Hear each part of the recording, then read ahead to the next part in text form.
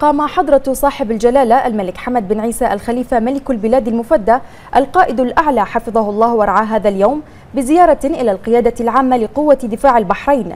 فلدى وصول جلالته أيده الله كان في الاستقبال معالي المشير الركن الشيخ خليفة بن أحمد الخليفة القائد العام لقوة دفاع البحرين.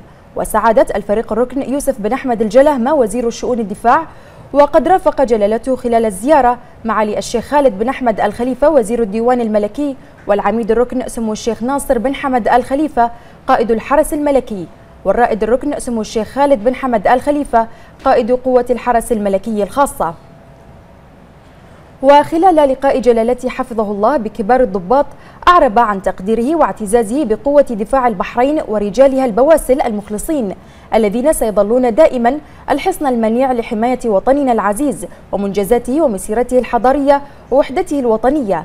مقدرا جلالته ما يقيمون به من واجبات سامية بكل شجاعة وعزيمة وانضباط وما وصلوا إليه من مستوى احترافي في مختلف أسلحة قوة الدفاع وأثبتوا ذلك في العديد من المهام التي أوكلت لهم. مؤكدا جلالته أن تمكنهم من التقنيات الحديثة يشجعنا إلى التوجه إلى الصناعة العسكرية لإكمال منظومة العمل العسكري بقوة دفاع البحرين.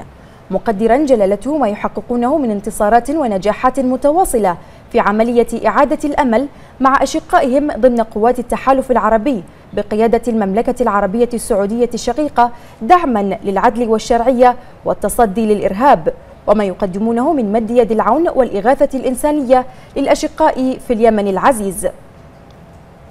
مشيدا جلالته بتخريج دورة القيادة والأركان المشتركة العاشرة الذي أقيم الأسبوع الماضي تحت رعاية كريمة من جلالته أيده الله.